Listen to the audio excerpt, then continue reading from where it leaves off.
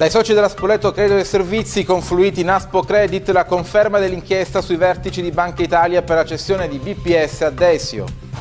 Buonasera, buonasera, a tutti. In primo piano stasera c'è quell'inchiesta che sta facendo scalpore in tutta Italia. La Procura di Spoleto ha messo sotto inchiesta Ignazio Visco, il governatore della Banca d'Italia e altre sette persone. L'indagine si riferisce al passaggio della BPS, la Banca Popolare di Spoleto, al Banco eh, Desio e della Brianza. La Procura non ha confermato né smentito, ma una conferma arriva dalla Aspo Credit, che è l'associazione dei soci, sono circa un centinaio della Spoleto Credito e Servizi e dall'avvocato Rizziero Angeletti che è l'autore dell'esposto eh, contro Banca Italia da cui poi è scaturita questa indagine. L'associazione parlando di una comunicazione di iscrizione al registro di una persona offesa che non è specificata dice però che emerge che il governatore Visco è indagato dal 28 gennaio scorso per corruzione, abuso d'ufficio, truffa e infedeltà. Ma partiamo dall'inizio con Federica Becchetti.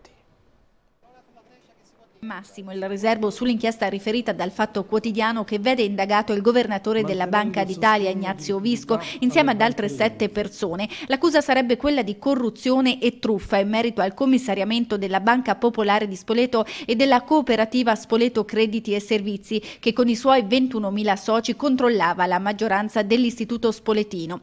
A seguito dell'ispezione avviata da Via Nazionale nel 2012 i commissari due anni dopo decisero anche la vendita a Banca Banco Desio, decisione contestata dai soci di SCS che videro così le loro quote scendere al 10% e giudicata illegittima nel febbraio scorso dal Consiglio di Stato che l'ha annullata, invalidando anche la successiva vendita. E proprio da un esposto presentato da un centinaio di soci dell'Istituto di Credito Umbro potrebbe essere partito tutto quanto. Fra gli indagati ci sarebbero gli stessi commissari nominati da Banca Italia, Giovanni Boccolini, Gianluca Brancadoro e Nicola Stabile, i componenti componenti del comitato di sorveglianza e Stefano Lado, attuale presidente di BPS e vicepresidente di Banco Desio. La Banca d'Italia sottolinea di non essere a conoscenza di alcuna iniziativa dell'autorità giudiziaria.